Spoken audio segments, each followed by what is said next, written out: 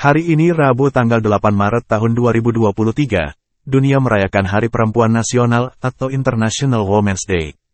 Perayaan yang diperingati tiap tanggal 8 Maret ini adalah bentuk peringatan perjuangan perempuan dalam mencapai kesetaraan gender dan hak-haknya.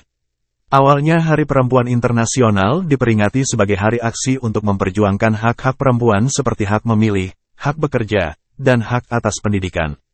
Seiring dengan perjalanan waktu, Hari Perempuan Internasional dijadikan momentum kampanye berbagai isu yang dihadapi oleh perempuan di seluruh dunia seperti kekerasan seksual, ketimpangan ekonomi, dan diskriminasi gender.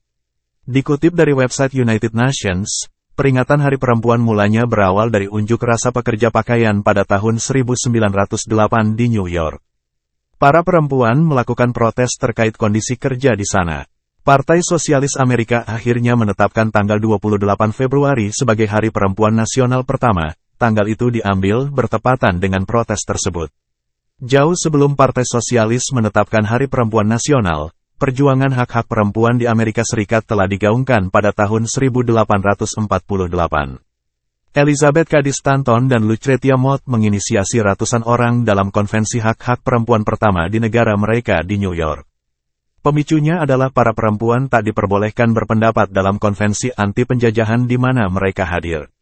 Dua tahun setelah Hari Perempuan Nasional dicetuskan, Konferensi Internasional Perempuan di Denmark mengusulkan tanggal 8 Maret jadi Hari Perempuan Internasional. Tanggal itu dipilih untuk memeringati aksi mogok kerja pada 1909 di New York City. Perayaan Hari Perempuan Internasional pertama tercatat di Austria, Denmark, Jerman, dan Swiss pada tanggal 8 Maret 1911. Saat itu ribuan perempuan melakukan aksi mogok untuk memperjuangkan hak mereka. Hari Perempuan Internasional akhirnya dirayakan di berbagai negara. Pada perayaan di tahun 1917, para perempuan di Rusia melakukan aksi mogok kerja untuk menuntut hak mereka dan memicu revolusi Rusia.